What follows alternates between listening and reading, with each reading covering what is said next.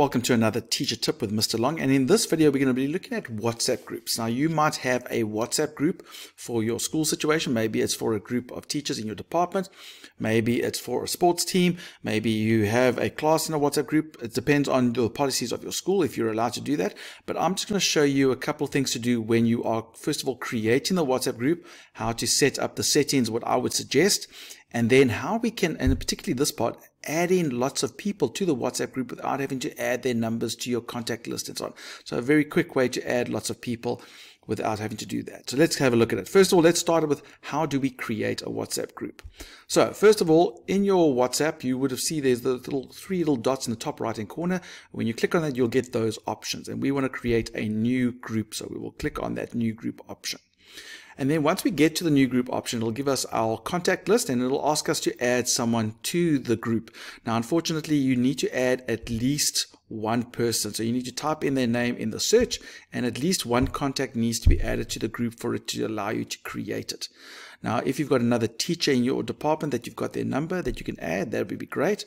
If there's no one else besides the students that you're going to add, then I would suggest you add someone that you know and then you can just remove them later on once the group has got other people in it. So add your one person and at the bottom you'll see that little arrow to go to the next step. So we will click on that to go next. Then we'll get to these options. Now you must give your group a nice little name there. You type in the name of the group that you want. I'm going to do that. Give, you, give it a nice name. I'm going to call this one Mr. Long Teacher Tips. And then on that little icon there, if you want to create an image or put an image into the icon, that's normally a good idea because then it sticks out in the list of all the, the chats that are in your WhatsApp. So I would suggest that you put a nice little image in there, maybe find one that's related to your topic or your group.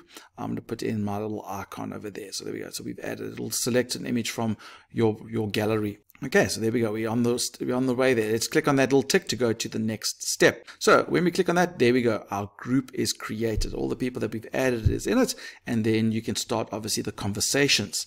However, we want to do a few things before we move on. We want to change a couple of settings. So let's go click on those three dots again for this chat while we are in the chat, and we're going to change a few of these settings. So we're going to go over here and let's click on the group info option right there at the top. So when we do that, it'll show us the details of our group. We can start an audio chat or a video chat if you wanted to, but we first want to do some settings. So we're going to scroll down a little bit.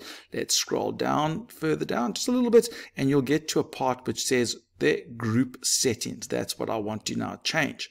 Now, when I click on that, I'll get to a screen that looks like this. So let's talk about these options. The first option there is edit group info. At the moment, the default is all participants. That means anyone in the group. So when I click on it, I'll get these options. You, this allows people to change the icon or, or to change the name of the group and stuff like that. They can delete messages, that type of thing if I had a group with uh, students and stuff like that, I probably wouldn't want them to have full access to this. So I would select and or change it to only admins.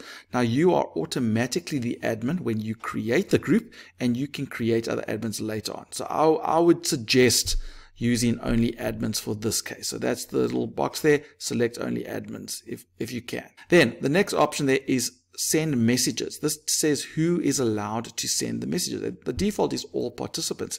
Again, I hate it when I have a group and then you, you post something and then there's a, a constant stream of messages of people putting thumbs up and they, they're commenting on it and it's not relevant to what you want to say or you just want to share that information and then that information gets lost like further up in the group.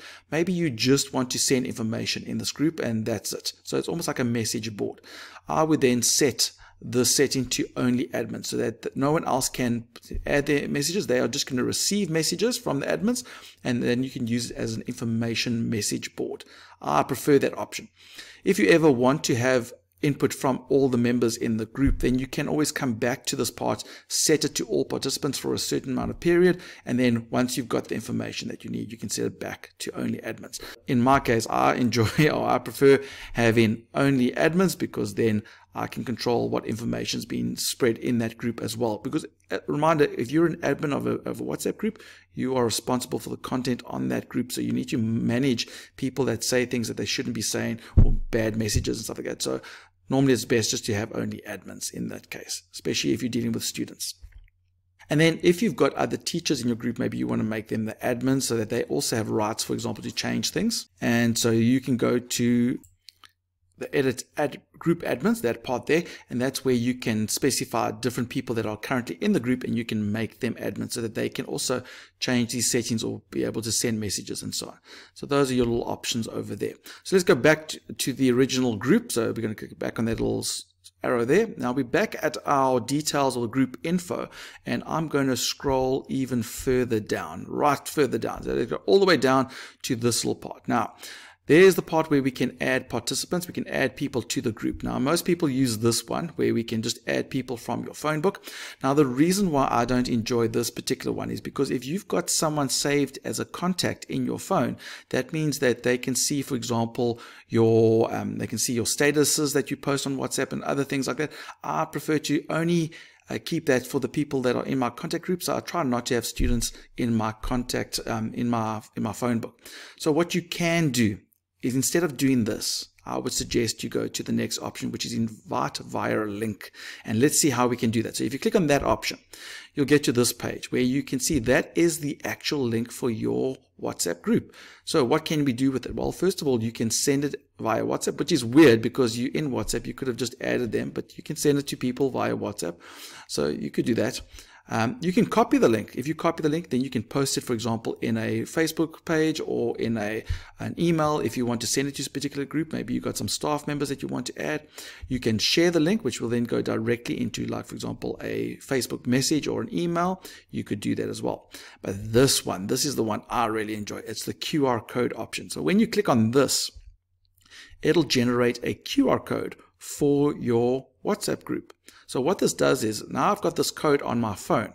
So what I can do is if the students are around, if they are in WhatsApp, they can go to the camera portion of their WhatsApp. If you just scroll to the left of the chats, you'll see it'll eventually go to camera and they can use that camera to scan in that QR code. And when it does, it'll allow them to join that group. And so I can just move my phone around, let them scan the QR code, and that way they can join the group. Very quick, very easy. I don't need to record their names or their numbers into my phone. They can just join the group automatically. So that's what I would suggest they do the scan with their phone.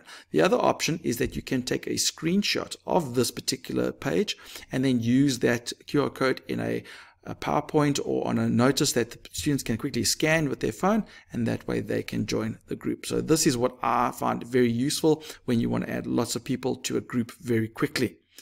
And let's go back. Now, let's say we've got our WhatsApp group and we've got our links and we've got the people in, and we don't want anyone else to join the group. We, we want to close the group, um, but you know that you might, someone might get that QR code from someone else or they might copy the link. What you could do then is reset the link. That means any previous QR code, any previous link will be null and void. It won't be uh, used to be able to get into the group. It'll generate a new link, which unless you share the new link, no one will be able to access. So there we go. So those are the options over there. And that's how you can create your WhatsApp group, how you can create it, how you can set your settings to be safe, to make sure that you manage it properly, and how to add lots of people very quickly without having to add them to your phone book.